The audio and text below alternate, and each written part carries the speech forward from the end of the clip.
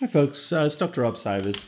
Um, this is kind of part two of a video that we just released, the, the previous one, where Daryl Merriman sent me a question about why do certain cells require glucose? Well, the interesting thing is that evolutionarily and physiologically, the human body is not designed to use sugar as a primary fuel source. In other words, the human body does not rely on the consumption of sugar the release of sugar into the bloodstream, and then the use of that sugar. In fact, that very process, which has become the modern dominant era form of feeding, is actually most closely associated with all of the metabolic harm.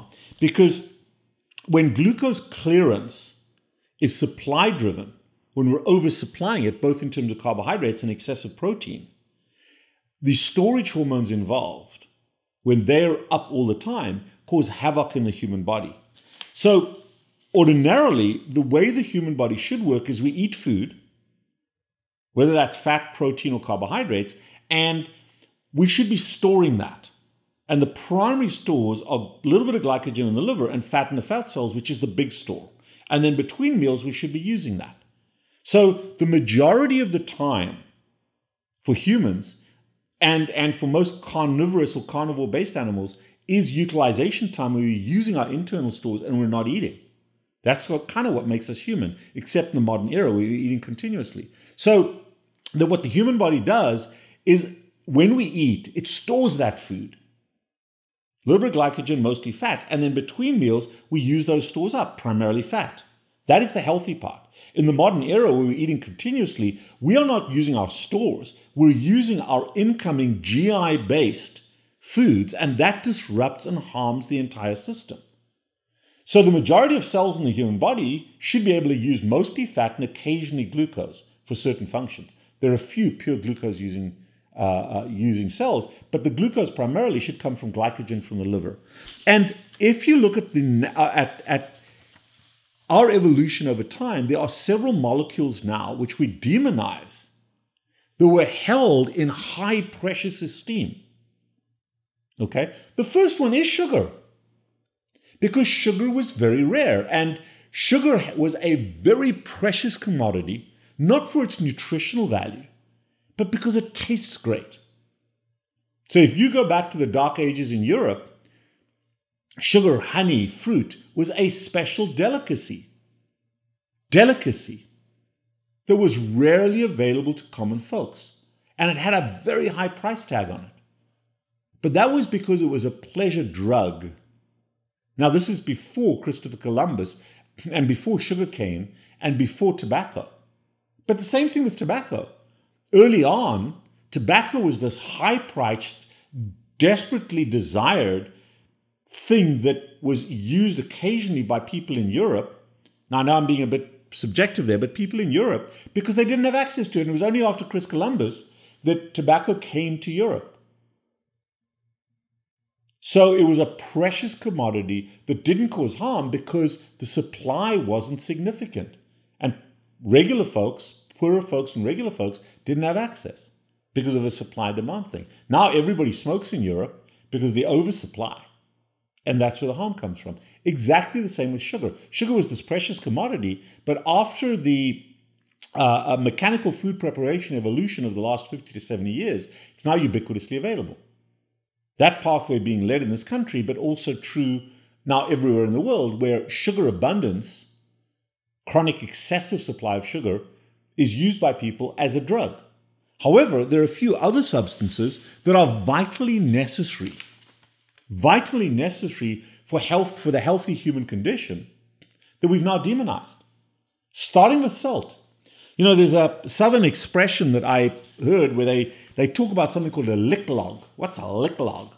And, and where I grew up in Africa, we used to put out salt blocks. But a lick log is where you take chunks of salt and you embed it in a tree, and the cattle and the horses and the sheep go up and they have to lick the salt out of there because everybody knew that salt and electrolytes was, is, is vital, vital to herded animals. And even in Africa, salt pans were essential to the herding group. So we knew that salt was a vital commodity. And even in Africa, the hunter gatherers carry rock salt with them. particularly to manage hydration, because hydration is not about water, it's about salt. So salt was an incredibly precious commodity. We had salt mines, we had salt caravans. Salt was often currency 500, 600 years ago. So we knew about salt. We, we loved salt. We demanded salt. And the human body is physiologically equipped to handle excess salt. But in the modern era, salt's bad for you. Stop salting your food. Cut back on your salt. You can hardly go into a restaurant now where there's salt on the table. You have to ask and request salt from the waiter, and then they frown at you and look like you're going to have a heart attack. So they kind of bring the defibrillator and put it next to you. That's how upside down we've become because of sugar. The second commodity that is celebrated, celebrated by older, more established, more traditional populations, and where I come from in Africa, some of the tribal communities. Whether they become urbanized or not, there's the tribal root, and that is fat. And we use fat for everything. We use fat as lip balm. We smear it with ochre on our skin to, as an adornment. We use it uh, uh, to take up dry skin. Fat is an excellent uh, uh, um, uh, skin remedy. We savor eating fat.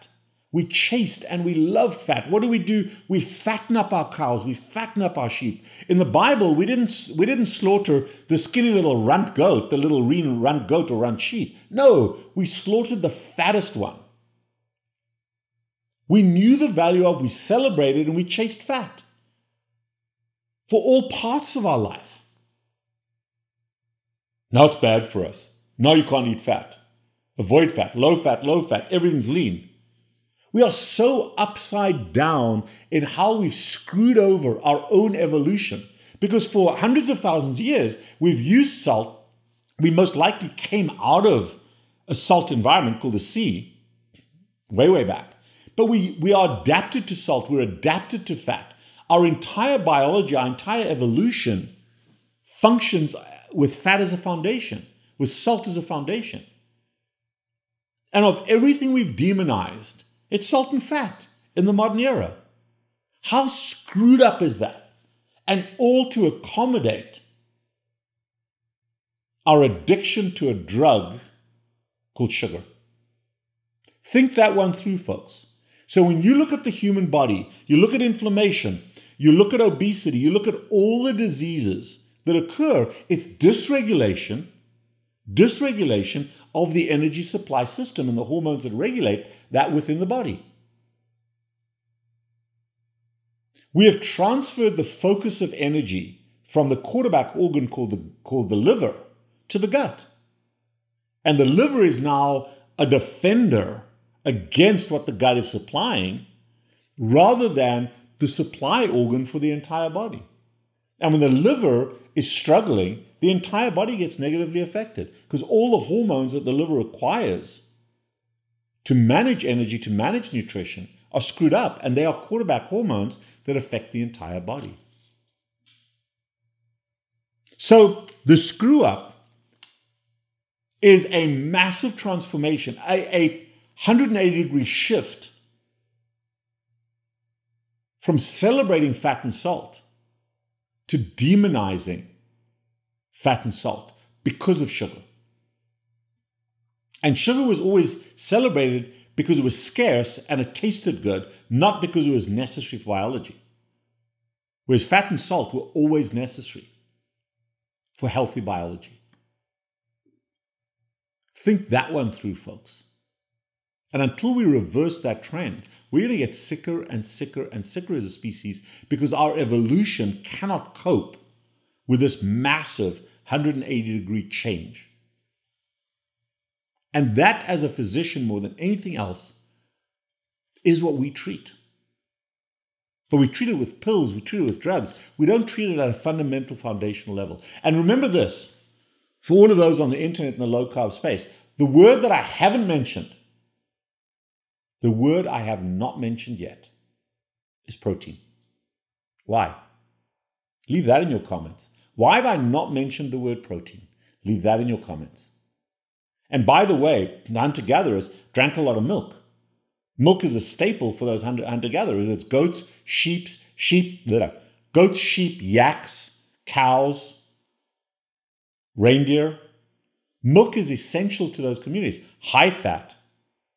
Hmm. Now we demonize it. Now everything's skim milk. So think that one through. Why did I have this discussion? Why did I not mention protein? I am the Carb Addiction Doc. Leave comments. Let's discuss this.